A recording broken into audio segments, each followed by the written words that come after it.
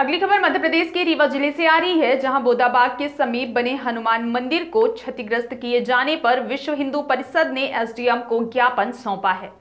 आपको बता दें, ज्ञापन सौंपते हुए कार्यकर्ताओं ने एक समिति बनाए जाने, दोषियों पर कड़ी से कड़ी कार्यवाही और मंदिर को पुनः व्यवस्थित करने की मांग की है।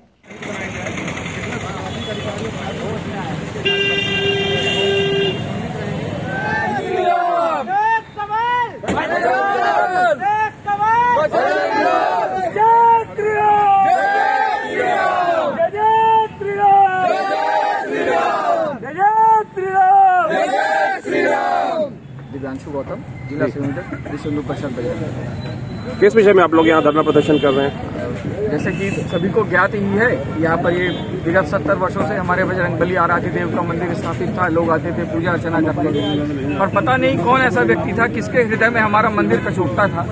यहाँ पर आए और उन्होंने जेसीबी के माध्यम से मूर्ति को गिरा दिया। मूर्ति हमारी क्षतिग्रस्त हो गई। हमने प्रशासन के सामने मांग रखी है कि जो भी कोई ऐसे व्यक्ति हैं जिन्होंने ये हरकत की है, तत्काल उनके ऊपर कार्रवाई की जाए, एक समिति बनाई जाए तो समिति ये निर्णय ले कि भविष्य में ऐसी कोई भी यदि डेवलपमेंट में धार्मिक स्थल फंस रहे हैं तो उसके पहले उस समिति में चर्चा हो जाए। इस तरह के हमारे तीन बिंदु और एस साहब आए थे एस साहब, उन्होंने प्रशासन के प्रतिनिधि के रूप में हमारी बात सुनी है और सात दिवस का आश्वासन दिया है हमारे जिला मंत्री जी, हम सभी के मुखिया यहाँ पर हैं उनको। और यदि सात दिवस के बाद कार्रवाई नहीं होती तो संगठन अपने स्तर पर अपनी कार्यवाही करने के लिए विश्वविख्यात है। रीवा में इस समय लगातार विकास की धारा बह रही है और विकास की धारा के ऊपर बुलडोजर चल रहे हैं सिर्फ़ मंदिरों के ऊपर। मंदिरों के ऊपर टोटल विकास किया जा रहा है इस समय, बुलडोजर चलाकर। अभी इसी कड़ी में तीन चार मंदिर गिरा दिए गए हैं रीवा में। बार बार संगठन आग्रह करता रहा तो आग्रह शायद स्वीकार नहीं हो पा रहा है। तो शायद बजरंग दल को पुनः आगे आके और जि, जि, जिस चीज़ के लिए जाना जाता है उस तरह से वो अपना यहाँ पे सामने प्रदर्शन करेगा। तब शायद ये लोग चेतेंगे कि किस तरह से मंदिरों को सुरक्षित रखना है कहाँ पे बुलडोजर चलाना है कहाँ पे नहीं चलाना है। आए दिन जो भी मंदिर होता है बिना पूछे आछे मंदिर तोड़ देंगे मूर्तियों को खंडित कर देंगे। प्रशासन का केवल इतना ही काम रह गया है। यहाँ के प्रतिनिधि उदासीन है ना उनको समझ में आ रहा है हिंदू सरकार, अपन सरकार मानते हैं हिंदू लोगों की कहने वाली है, लेकिन जो भी है, किसी बिना सूचना के आते हैं, बोलते हैं कि ये सुरक्षित रहेगा और दूसरे दिन उसी के ऊपर बुलडोजर चला देते हैं। पीछे मंदिर है, कई वर्षों पुराना मंदिर है, लोगों की आस्था का केंद्र है। बोल के गए थे अभी कि ये नहीं टूटेगा। अब कल आया, कोई अतिक्रमण विरोधी दस्ता और सीधे बुलडोजर चला के चला गया।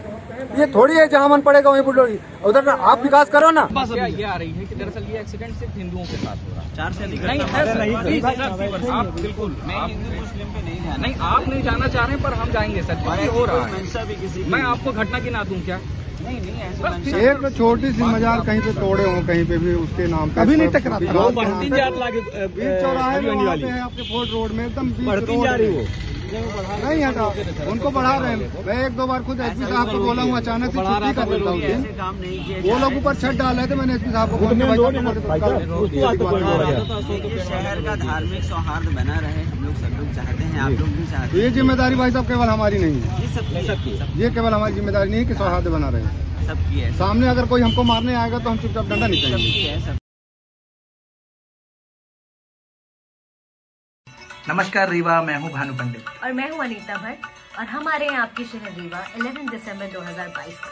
कृष्णा राज कपूर ऑडिटोरियम में एक सुरों की महफिल सजाने जिसका नाम है उड़ान। शाम गज़ल। एक शाम सूफी संगीत के नाम में अपनी प्रस्तुति देने के लिए। तो हम चाहते हैं कि आप सभी आए वहाँ पे इस संगीत में शाम का हिस्सा बनने के लिए। और हम दोनों स्पेशली थैंक्स बोलना चाहते हैं अभ्युदय उपकार फाउंडेशन की तरफ़ से अनामिका शुक्ला जी का। जिन्होंने हमें रीवा शहर आमंत्रित किया। तो सी यू ऑल दैट